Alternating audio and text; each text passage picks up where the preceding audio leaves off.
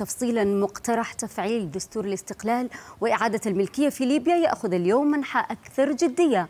فالإحباطات المتوالية في التوافق على مسار دستوري موحد في ليبيا وتعثر إجراء الانتخابات إلى جانب الانقسام السياسي والمؤسساتي الحاد. يعيد اليوم الحديث حول تفعيل الملكية في ليبيا المنتهية منذ 53 عاماً.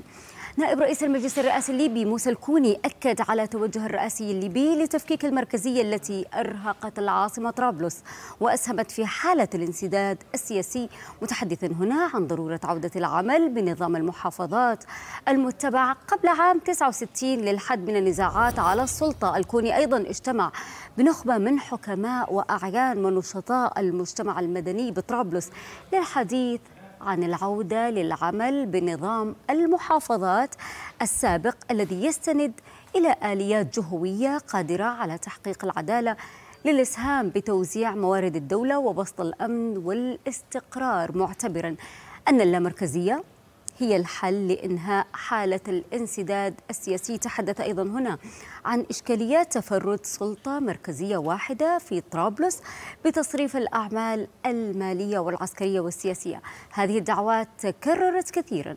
حيث كان آخرها طلب تقدم به رؤساء وممثلو ل 16 حزبا ليبيا لرئيس البرلمان عقيل صالح باعتماد النظام الاتحادي في مسودة الدستور القادمة. ويعتزم البرلمان بحسب إعلان نواب ليبيين عقد جلسة عامة تتضمن مناقشة إمكانية العودة إلى الفيدرالية وتتألف طبعا ليبيا تاريخيا من ثلاثة أقاليم. فزان الذي يضم مدن الجنوب وبرقة الذي يضم الشرق الليبي وطرابلس الكبرى. رغم هذه المطالب إلا أن عضو الهيئة التأسيسية لصياغة مشروع الدستور نادي عمران تقول أن دعوات المقدمة من عدد من أعضاء مجلس النواب بشأن العودة للفيدرالية هدفها خلط الأوراق وتعطيل إنهاء المراحل الانتقالية وليس البحث عن الحقوق أشارت أيضا هنا إلى أن دستور الاستقلال انتهى عام 1951